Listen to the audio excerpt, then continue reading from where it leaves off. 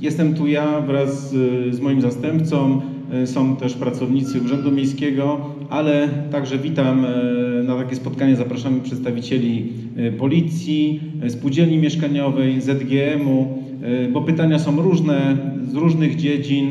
E, Jeżeli będziemy mogli odpowiedzieć na te pytania dziś, to odpowiemy oczywiście. Wszystkie zostaną i tak tematy zanotowane. Z każdego takiego spotkania robimy e, notatki, protokoły, tak żeby e, pamiętać, co Państwo mówili. To może zacznę od tej pierwszej części, czyli zaprezentuję najważniejsze zadania, inwestycje, które dzieją się w naszym mieście i w najbliższym otoczeniu, bo to jest niezwykle ważne. To, co będzie działo się wokół Głogowa, będzie oddziaływało ściśle na nasze miasto. E, Zacznę od e, jednej z najważniejszych rzeczy, o której mówi się od lat, czyli od obwodnicy miasta Głogowa. Jesteśmy na takim etapie, że główny inwestor, Generalna, Generalna Dyrekcja Dróg Krajowych i Autostrad e, rozpisała przetarg. W tej chwili oczekuje na oferty potencjalnych wykonawców. Zainteresowanie jest bardzo duże, ale też inwestycja jest ogromna, bo przypomnę, obwodnica Głogowa będzie zaczynała się od e, drogi ekspresowej S3 na węźle Głogów Zachód i tu nowym śladem zupełnie będzie wybudowana droga, która będzie dopiero za Odrą, za mostem, za Serbami włączała się w obecną drogę krajową numer 12. Em, Następne rzeczy, o których będę mówił, będą pokazywały kolejne nasze miejskie inwestycje podporządkowane skomunikowaniu obwodnicy z właśnie centrum miasta. I tak oto e, mamy e, ten węzeł, umownie nazwijmy to Głogów Huta. E, po prawej stronie mamy miejską strefę inwestycyjną, z tej strony mamy hutę, no i centrum miasta. E, To będzie główny zjazd z obwodnicy do, do Głogowa. Na tym odcinku mamy drogę wojewódzką 292 i ona zostanie przebudowana, przebudowana do czterech pasów e, wraz z budową ronda na dole na skrzyżowaniu e, Piłsudskiego e, i e, Sikorskiego i ulicy Północnej. Zatem e, duża inwestycja połączona z rozbudową infrastruktury w miejskiej strefie inwestycyjnej. E, Pozyskaliśmy na to zadanie prawie 40 milionów złotych plus środki własne z budżetu miasta Głogowa i w ciągu dwóch lat ta inwestycja powstanie, tak żeby e, przyszła obwodnica, która ma być wybudowana do 2027, e, mogła być e, świetnie skomunikowana z miastem. I ulica Sikorskiego, ona również zostanie przebudowana, poszerzona, e, już nie o cztery pasy, bo tam nie ma tyle miejsca, ale mniej więcej średnio trzy pasy, czyli będą dwa pasy wjazdowe, jeden pas wyjazdowy, będą prawoskręty, lewoskręty, bezpieczne skrzyżowania, takie rozwiązanie, aby, e, aby można było e, śmiało do centrum miasta wjechać. Oczywiście chodniki, ścieżki rowerowe i wszystko, co z tym związane.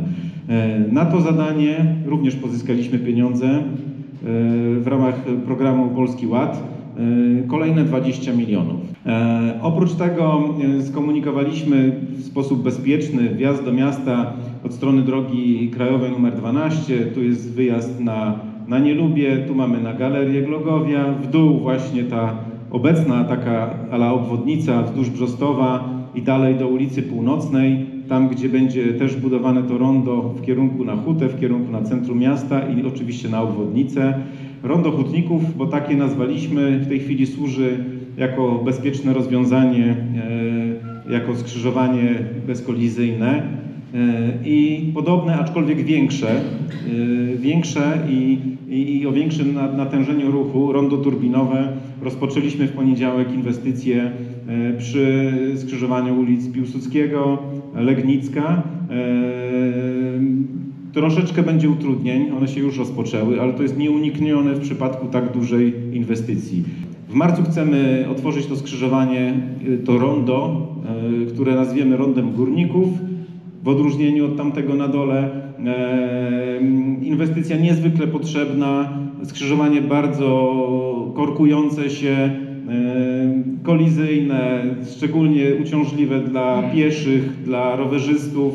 E, to rozwiązanie, które będzie zastosowane, będzie już posiadało dookoła ścieżki rowerowe, przejścia dla pieszych. W tej chwili jest e, procedowana inwestycja, wybrany już jest wykonawca w trybie zaprojektuj i wybuduj, e, połączenia tych dwóch rond ścieżką rowerową i chodnikiem, czyli tu wzdłuż ogrodów działkowych, wzdłuż całej Piłsudskiego powstanie nowa ścieżka rowerowa i, i, i chodnik. Mm, myślę, że to też dosyć E, usprawni i w sposób komfortowy będzie, pozwoli przemieszczać się rowerzystom i pieszym wzdłuż całego osiedla Kopernika. E, wspominałem o miejskiej strefie inwestycyjnej, czyli obszar e, Biechowa. Tu już mamy pierwszego inwestora, pana Toni, Park Głogów. Potężna hala, ponad 80 tysięcy metrów kwadratowych. Są już pierwsi inwestorzy, kolejni, kolejni będą pojawiać się systematycznie, o tym będziemy informować. E, jest już kilkaset miejsc pracy, natomiast to jest dopiero początek, ponieważ e, e, za torami kolejowymi na drugiej działce, czyli na tym drugim etapie, gdzie też będziemy budować drogi i uzbrajać ten teren, mamy już kolejnego inwestora, to jest firma Engie, to jest taki światowy lider w produkcji zielonej energii, biogazu. I właśnie tutaj powstanie największa w Polsce biogazownia, biometanownia, E, paliwo e, ekologiczne. Na północ od Głogowa, na terenie gmin Głogów i Kotla. e, przy zaangażowaniu Legnickiej Specjalnej Strefy Ekonomicznej i właśnie tych wszystkich na, na naszych samorządów powstają tereny inwestycyjne aglomeracji głogowskiej. Tak to nazywamy. Jest to obszar około 500 hektarów, potężny obszar, jeden z najważniejszych, najciekawszych w Polsce, który powstaje. Co się z tym wiąże? Oczywiście budowa obwodnicy, o której powiedziałem, ale też inwestycje drogowe i wodno-kanalizacyjne, które e, te gminy w skład aglomeracji głogowskiej wchodzące e, też e, w tej chwili procedują. Wszystkie drogi dojazdowe od tych węzłów do strefy będą przebudowane, wybudowane nowe, wszystkie właśnie w kategorii takich dróg czteropasmowych, po to, żeby skomunikowanie z tą przyszłą strefą gospodarczą było bardzo dobre. Oczywiście prowadzimy inwestycje w nasz Głogowski Szpital. Każdego roku przeznaczamy kilka milionów złotych na modernizację kolejnych oddziałów. Teraz modernizowany jest oddział ortopedyczny, wcześniej neurologia, a w przyszłym roku jeszcze cała chirurgia zostanie zmodernizowana. Łącznie na ten cel z budżetu miasta Głogowa przekazujemy 20 milionów złotych. W ten sposób praktycznie każdy oddział zostanie e, w Głogowskim Szpitalu wyremontowany. E, trzeba koniecznie wspomnieć e, budynek hospicjum na Paulinowie został już tak naprawdę zbudowany. Hospicjum jest zbudowane, w tej chwili trwają odbiory po to, żeby uzyskać pozwolenie na użytkowanie. Trwają odbiory sanepidu, straży pożarnej, nadzoru budowlanego. E, obiekt, y, który e, powstał za nieco ponad 22 miliony, też przy wsparciu z programu Polski Ład 11 milionów, e, stoi, jest w tej chwili zagospodarowywane, zagospodarowywanie terenu.